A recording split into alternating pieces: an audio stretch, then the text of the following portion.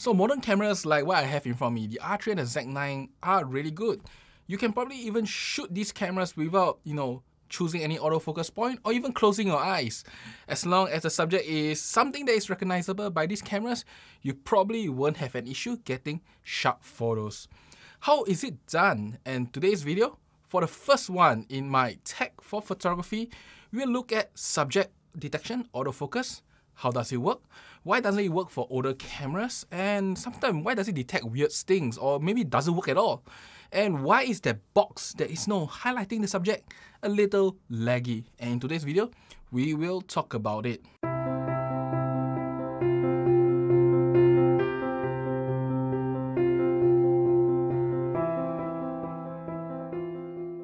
I'm Richard and today we'll talk about subject detection autofocus. Now, I have to say one thing before we start. Uh, whatever you see in this video today is really based on my research and what I think the camera manufacturers are doing itself. I'm not 100% sure, and that's because nobody reveals how they actually accomplish it. But without wasting time, let's talk about the technology behind this.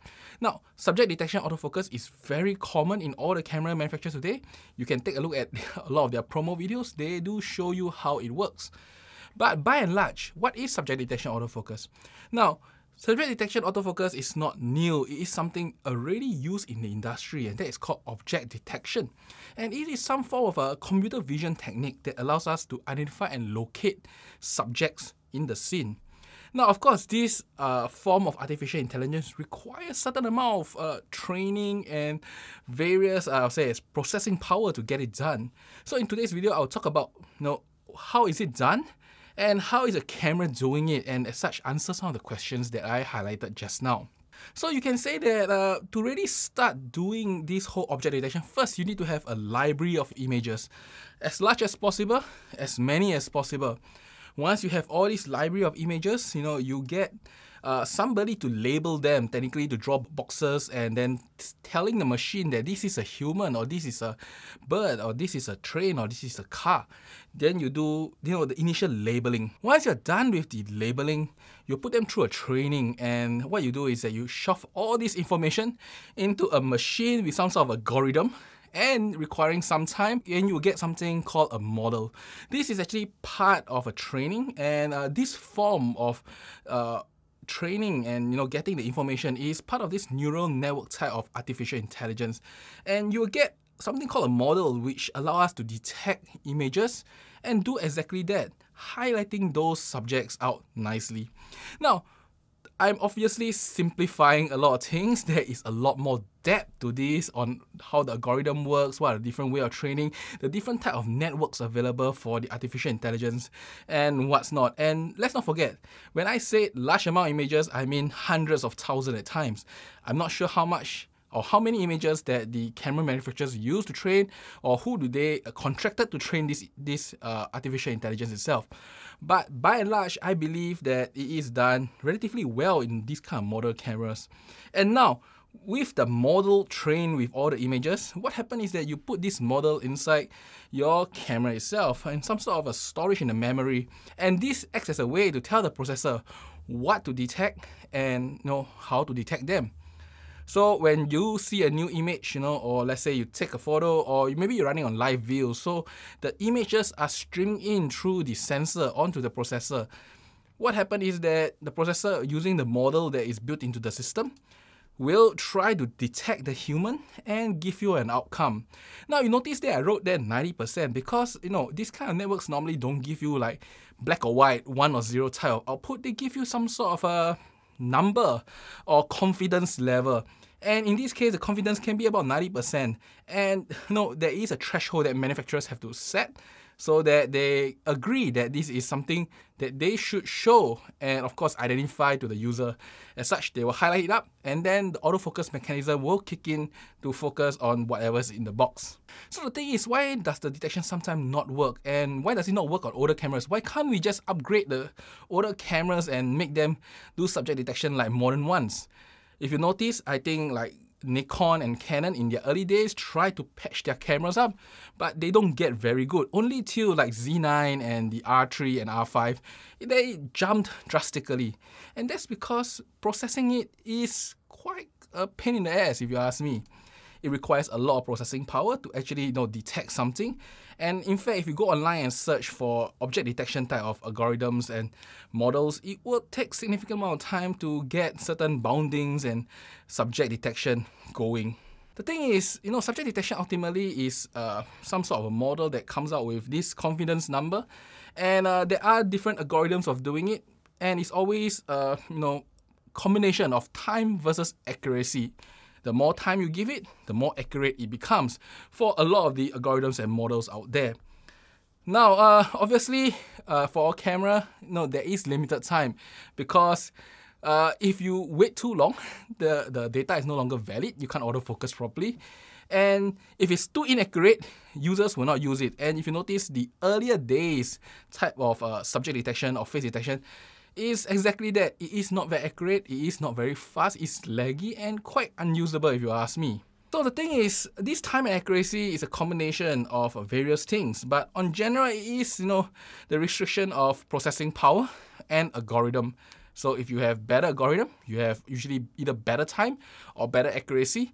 And if you have more processing power, you can always reduce the time. As such, use algorithms that are more accurate.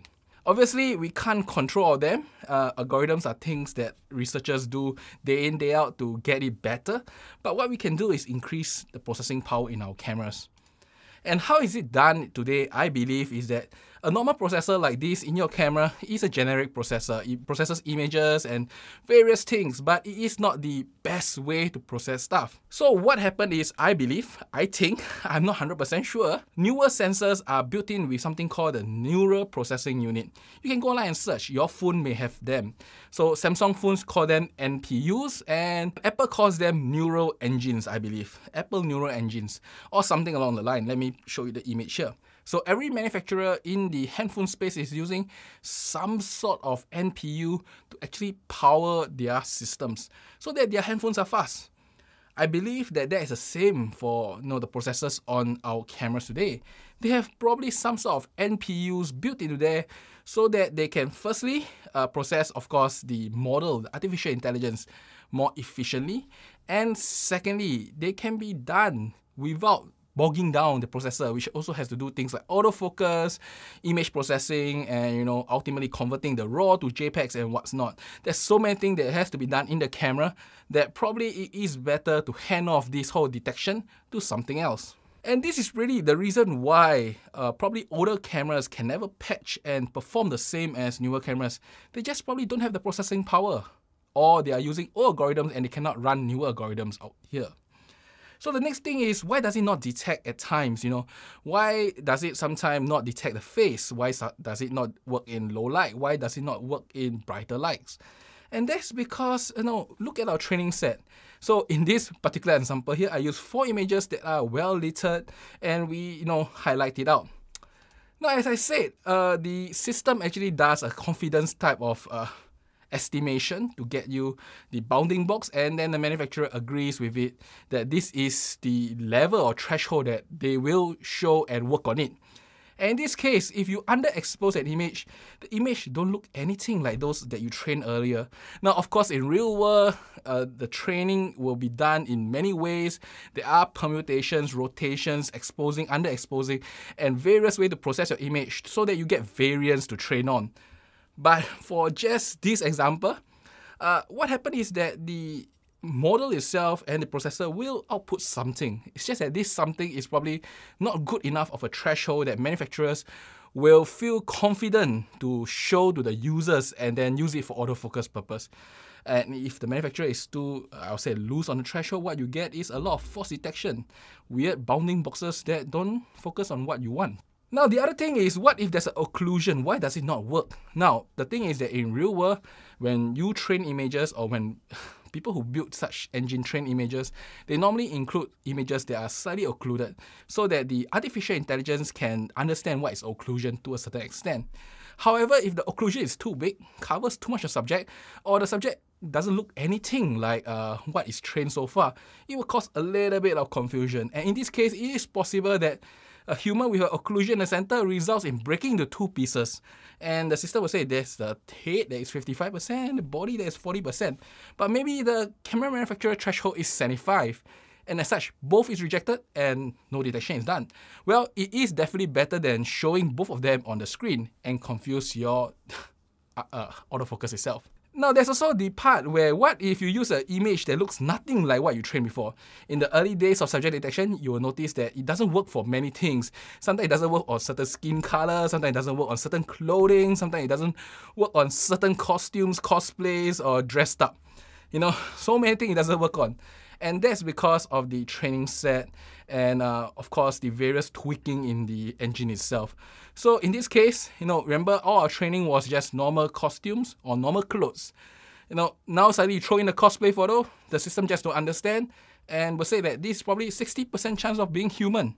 And it is lower than the camera threshold of 75, for example, and it rejects it. And lastly, sometimes you get weird bounding boxes, like bounding boxes on the chest, or it detects the eye on the mouth, or it detects like there is this weird thing behind that has some sort of human shape and it thinks that it's a human. And that's because uh, the system is still trying to, I'll say as, guess where the subject is and try to bound it up.